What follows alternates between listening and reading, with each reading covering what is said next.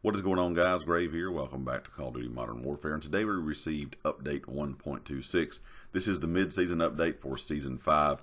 Of course, this update is around 10 gigs on PS4, 14 gigs on Xbox, 11 gigs on PC for the free-to-play version, and of course, if you own the entire game, it's 17.6 gigs on PC. I will link these patch notes down in the description if you want to read over everything for yourself. I'm going to kind of go, go over just the high points, some new things they added in, so let's go ahead and hop right into it.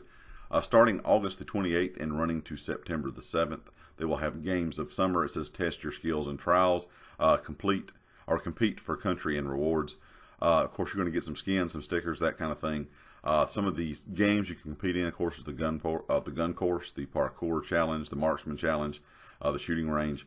Also coming within the next few weeks, they're going to have new Warzone modes, new operator, the gunfight tournament, new multiplayer mode, which is ground war reinforced uh, a new weapon, the Finn LMG, and triple feed XP weekends. So, you know, this is kind of the same thing we always get. You know, they kind of tell you the things you can expect, you know, in the upcoming weeks. And it looks like a pretty good bit of content. Now, when it comes to changes today for playlist, uh, for the multiplayer playlist, there's going to be Ground War, Ground War Reinforced, which is 32 players, Blueprint Gunfight, Shoot the Ship, and Face Off Verdansk Stadium, which is 2v2. When it comes to Warzone, it's BR solos, duos, trios, and quads plus Plunder Quads and King Slayer trios. Also, there was a lot of general fixes today. It says now in Ground War, you can spawn in an APC even if it's in combat, as long as the vehicle does not, you know, it's not on low health. Also, you can now inspect your weapon during the infill sequence. Also, they had a bug where players were spawning in and were able to see tracker footprints in Ground War, even though they did not have the tracker perk equipped.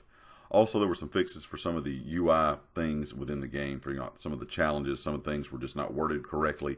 Uh, they also fixed a bug with the riot shield where it could appear, appear crooked in the uh, squad walk, like it was not placed correctly. Uh, various fixes to help the turbo watch function as intended. Fix for an issue uh, where the stopping round field upgrade could become unlimited after using two of them in the same weapon. When it came to weapons, there was just a few changes, or when it comes to weapons, uh, they adjusted weapon stat graphs to better match rate of fire and post-launch weapon balancing. A fix for a bug where tracers could lose their impact. Uh, the sniper thermal scope lowered optic resolution and reduced the thermal range. And adding uh, the HEI high explosive incendiary label to cosmetic ammo types. Now, when it comes for Warzone, there were some fixes uh, for the gas mask where it would become invulnerable a fix for a bug where the yellow highlighting of your name in the squad was missing from the BR buyback.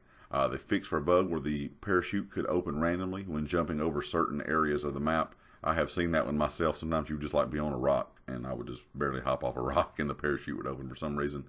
And BR quads, the player's minimap icon had both the downed icon and the arrow when the player started the most wanted contract.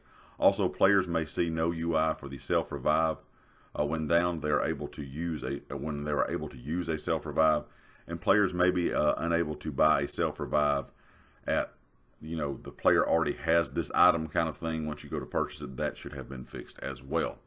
Uh, some, a couple things, of course, on PC improve stability and performance. Like always, that's always one thing they always list on PC.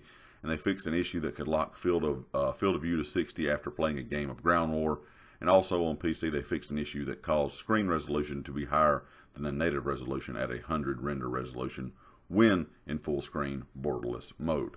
That's pretty much it, guys. Just a lot of bug fixes, a lot of small fixes, but we did get that new stuff for Season 5, or kind of the mid-season update.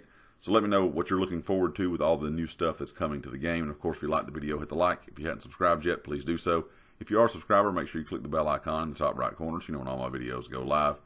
Uh, be sure to check out everything down in the description GT Racing, the community Discord, and my Twitter. And I'll catch you all next time. Peace.